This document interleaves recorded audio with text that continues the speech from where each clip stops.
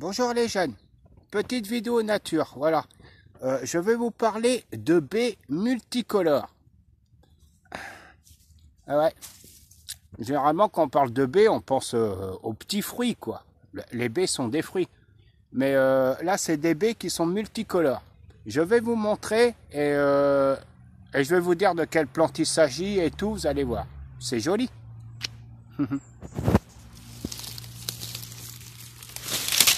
Voilà.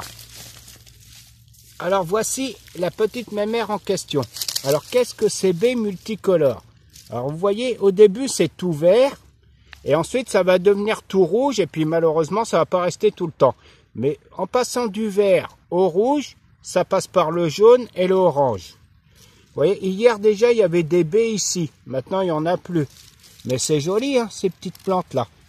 Alors qu'est-ce que ces petites plantes là qui font à peu près 20 cm de haut. Eh bien, je vais tout vous dire. Vous allez voir. C'est pas sorcier, les jeunes. Alors, qu'est-ce que ces petites baies de multicouleurs? En fait, c'est des arômes. Les arômes de la famille des aracées sont généralement des plantes tropicales. Mais il y en a qui, poussent en France, qui sont bien adaptés à notre climat. Alors, euh, pour ceux qui savent c'est quoi les arômes, ok, euh, sinon les arômes, euh, bah là j'en ai pas en fleurs pour montrer. Euh, voilà, en cas où j'ai fait une vidéo sur les arômes maculatum que vous pouvez retrouver sur YouTube. Voilà. Quant au B là, ça vient d'un autre arôme qu'on appelle arôme l'italicum. Comme son nom l'indique, l'italicum, c'est originaire d'Italie, du bassin méditerranéen, tout ce genre de lieux. Voilà.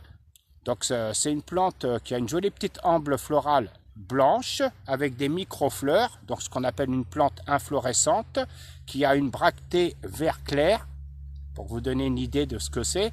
Voilà. Donc, ah oui, une bractée. Ben, une bractée, euh, c'est une pièce florale en forme de feuille faisant partie de la florescence, quoi, en fait. Voilà. Donc, en fait, les baies multicolores, ça vient d'une fleur qu'on appelle arôme l'italicum. Voilà. Mais c'est joli, hein Moi, j'adore.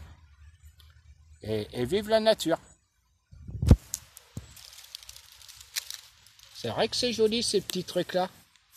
Et dire qu'il faut aller dans des coins discrets pour pouvoir trouver des plantes comme ça. C'est sûr, on ne voit pas ça au centre-ville. Hein.